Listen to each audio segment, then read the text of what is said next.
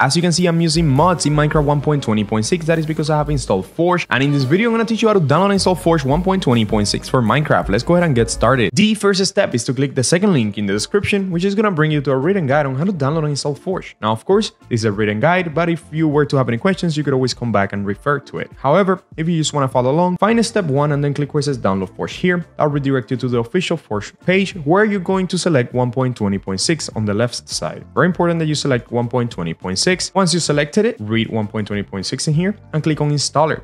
That'll bring you over here where after 5 seconds you'll see a button labeled as a skip right here on the top. Go ahead and click that button and that'll begin the download for Forge. Now don't worry about downloading Forge because Forge is completely safe to download. And talking about something safe to use, Apex Hosting is here, offering you 25% off your first server if you use the first link in the description. You could either create a Java or a Bedrock server, a server that is hosted online, so you don't expose your IP address, you don't put yourself at risk, you don't give too much information. This server will be hosted online, you get it set up in less than 5 minutes, and they have support for more than 200 mod packs with just a click of a button. They also have servers all around the world, so you don't have to worry about having bad connection to your own server. Use the first link in the description for 25% off, and let's get back into the tutorial. Now, once your download finishes, you will find it here on your recent downloads and then you could go ahead and drag and drop it into your desktop. You could also find this download within your downloads folder in your computer. Now that we have the Forge installer, we're gonna need a mod to try this out. If you already have a mod, you could go ahead and skip the next part of the video. Now, if you wanna use the same mod as me, as the one you saw in the intro, which is Journey Map, click on the third link in the description. That's our written guide on how to download and install Journey Map. You don't have to read through this unless you really need to,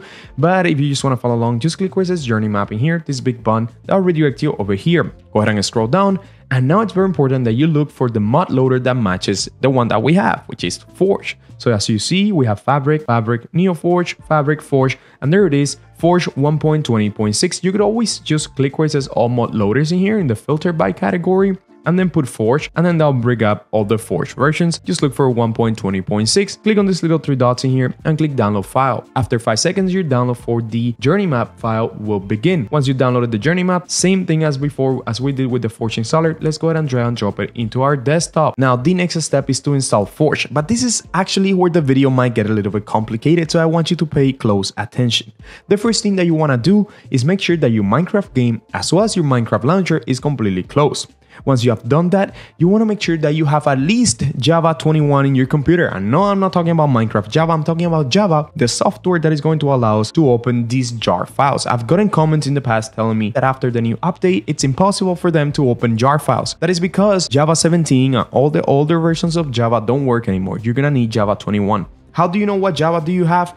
Just click where it says search, type add or remove programs, open that up, and in here you're going to click on search apps and you're going to type Java. That is going to bring up which Java do you have. And as you can see, we already have Java 21 in here if you don't have Java 21. If you have Java 17 or Java 8 or maybe not even a Java at all, just go ahead and get rid of your older version of Java and then click on the fourth link in the description, which is our written guide on how to download and install Java. Installing Java is super, super simple and it will most likely fix any issues that you might face when opening the Forge installer. Maybe you try to open the Forge installer and it opens as a text document or web browser or something like that you might need Java 21. Super simple to follow along. It's literally three steps and then you'll be able to open these jar files. Anyways, once you have installed Java 21, let's keep going. Now all you have to do is launch your Forge installer by double clicking on it, or you could also right click and then open with and then use Java. That'll open this little installer in here, just give it a second, and you're going to select install client, which should be selected automatically. Then go ahead and click on OK, and let's wait for Forge to install. Should be a super fast and easy process to do. Again, if you're having any issues to get Forge to open, it might be because you have an outdated Java. Fourth link in the description, how to update Java. I'm also gonna leave a fifth link after that which is a link to install jarfix. After you install Java, sometimes you might have to run a jarfix to make sure that all your jar files, which are these files, are linked to your new instance of Java. I don't know if this is too hard to follow along. I hope it's not. Let's say that you had Java 17 and you deleted it and now you install Java 21 and your files still not working, well, go ahead and run that jar fix because you have to re-link your jar files to the newest to the newest Java on your computer. Anyways, after Forge is installed, you will see this successful install client. Go ahead and click on OK. And guess what? You can now even delete the Forge installer. Let's go ahead and delete it. We don't need it anymore. So now we have Journey Map. The poor mod is left here alone. Let's go ahead and launch our Minecraft launcher to just make sure that Forge has been installed successfully. Now, if you have a different mod or if you were just trying to install Forge but not add any mods, at this moment you could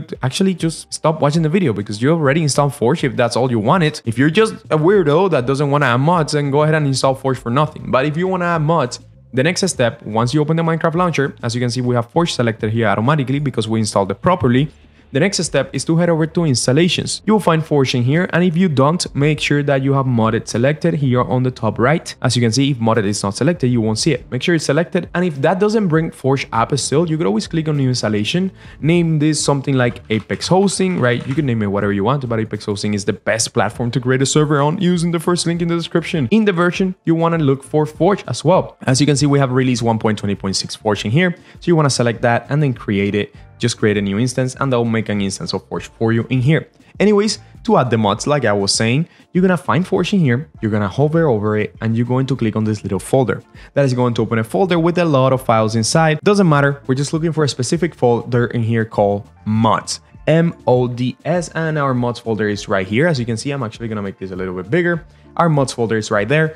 However, if you don't have this mods folder, let's assume you don't have it, so I'm gonna go ahead and delete mine you could always create it by right clicking, clicking on new, and then folder, and then type mods. There we go, mods. Create that mods folder yourself, and now just go ahead and drag and drop the mod that you want to use into this folder. In this case, it's the journey map, so we're gonna go ahead and add that in here. Just make sure that the mod that you add in here, it's 1.20.6, and that it matches your mod loader instance, which in this case is Forge.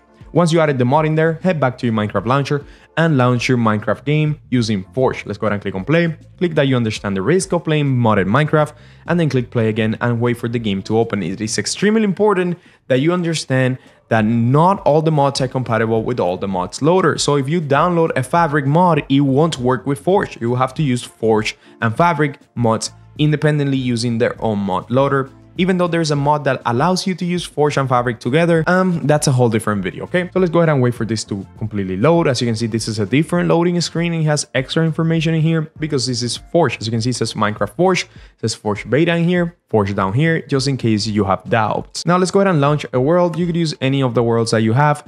Um, depending on the mods, some mods are client-side mods, like for example, the journey map is a client-side mod, meaning that this mod will work on any server or any world that you use it because it's a client side. Now, as you can see, once you're in the world, you have your journey map working and if you press J, you will see that this mod is working and you will see everything where you are and all the stuff because the mod is working because we installed Forge properly. Anyways, guys, that has been it for today on how to download and install Forge for Minecraft 1.20.6. I hope you enjoyed this video. If you did, don't forget to subscribe and leave a comment. I will see you next time.